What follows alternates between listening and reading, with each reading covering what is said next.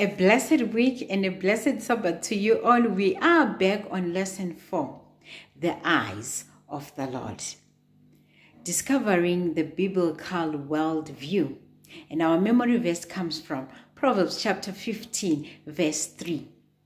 The eyes of the Lord are in every place, keeping a watch on the evil and the good. Amen. So this week's lesson confirms to us that God is omnipresent. He is always watching over our lives.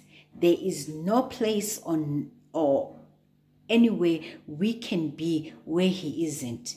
If you are doing bad, murdering, hijacking, doing all those evil things in the darkest of places, where you think no one is watching, remember God is always watching. If you're doing good, also remember God is watching.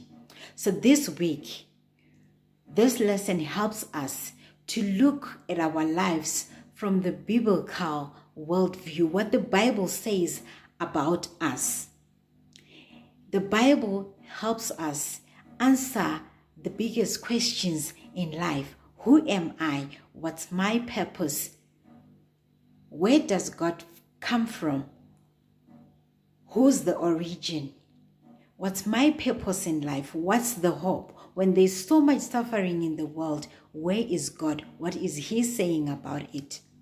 So it helps us look at life through God's eyes. You know, at times when bad things happen in our lives, we tend to say, but where was God? God is always there.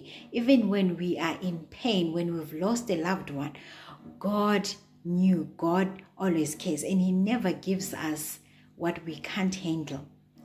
God is always watching. He, uh, Genesis 1 verse 1 says, In the beginning, God created the heaven and the earth. He created it for Himself.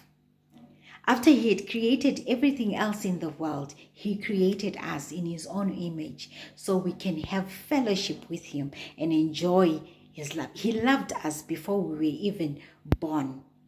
He loved us before he even created the world.